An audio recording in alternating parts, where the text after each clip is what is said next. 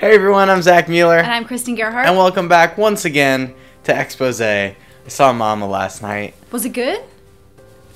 I, I saw Hansel and Gretel. I couldn't sleep. I couldn't sleep. Wasn't really I'm was that so disturbed? scary? I don't like scary movies. I thought you liked scary movies. Welcome to Expose. Learning things about Zach every day.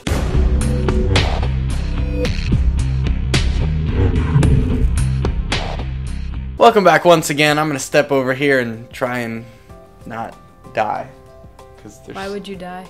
it's dark in this corner. All right, y'all, let's get into the news. But first, and most importantly, I want to point out that I am wearing my Doctor Who shirt and I have my Doctor Who phone cover.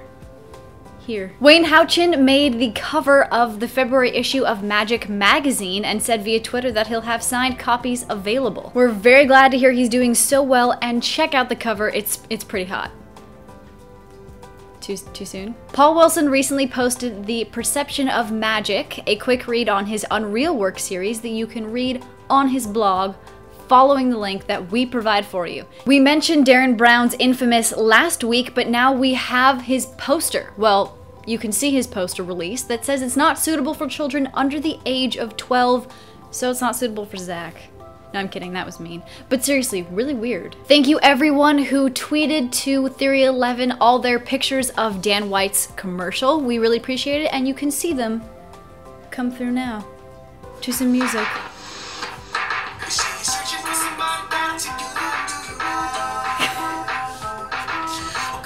You look like a kitty. I am a kitty.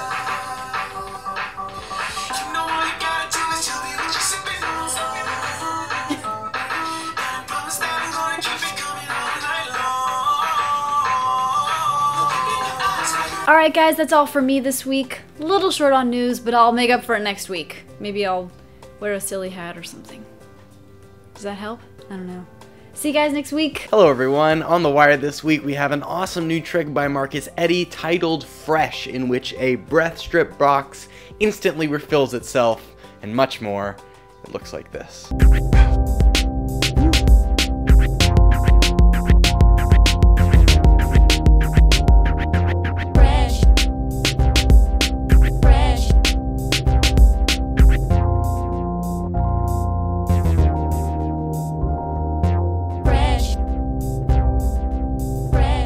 In the past week, we have gotten a ton of very positive reviews on Theory 11's latest download titled Psycho by Spidey, aka Bedros Akalian. Akalian? I don't know. Anyway, if you haven't checked out the effect yet, go ahead and do so in the trick section and check out all those awesome reviews. Thanks to you reviewers. I hope you guys got your elite points. Right now, I want to throw it over to our brand new expose correspondent live right now in San Francisco. Take it away. Thanks, Zach. I'm here at Macworld in San Francisco, which is all of this. Are you dizzy yet? I am. I'm actually helping uh, Greg Rostami, uh, creator of iForce and iTeleconnect and iPredict Pro. Uh, I'm pitching the apps, demoing the apps down here in San Francisco, uh, because Greg actually has some Photoshop software. Uh, he creates so much stuff that he is pitching that on the other side of this huge convention hall.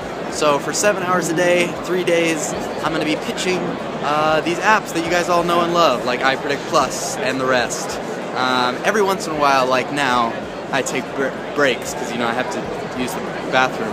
Um, but I'll show you uh, what the booth looks like. tail side. Make sure it's got a head and a tail side. Now normally what I do is I write this down with pen and paper, but I don't got any pen and paper on me, so I'm going to use these little doodle programs. I'm sure you see push with me at the same time. Push, push. Yes. Anyway, it's been really fun so far. We're just wrapping up the day of Thursday. Uh, it'll be Thursday, Friday, and Saturday for the convention. So if you live in San Francisco, uh, come on down to the convention. There's some really cool stuff here besides Greg's stuff. But Greg's stuff is awesome too. But anyways, that's about all for me. So Michael, take it away. What's up guys, welcome back to Expose. So, we released a brand new deck of playing cards a couple of days ago called Love Me. We had the pleasure of collaborating with world-renowned artist Curtis Kulig. Now, if you've never heard of Curtis before, he has a pretty interesting story. He actually grew up in South Dakota, but he moved to LA, and about six years ago, he wrote a simple phrase on the side of a wall, love me. And what started out as kind of a graffiti thing quickly exploded into a worldwide phenomenon. I mean, he's been working with companies like Vans and Smashbox. His work can be seen in museums and hotels all over the US, NYC, LA. He has been a very busy guy. But we had the pleasure of collaborating with him over the last couple of months to create this deck of playing cards, Love Me. Ultra chic, dressed to the nines, this thing is the bomb. It's the perfect Valentine's Day gift. It's all around just a really good deck of cards. It's great to perform with because it's kind of a conversational piece, has a universal theme to it, and uh, it's just a really, really cool product. So go check it out. It's in our playing card section.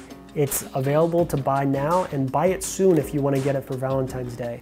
And uh, that's all I have for you guys this week. I'm going to pass it back over to Zach and Christen. I'll see you guys later.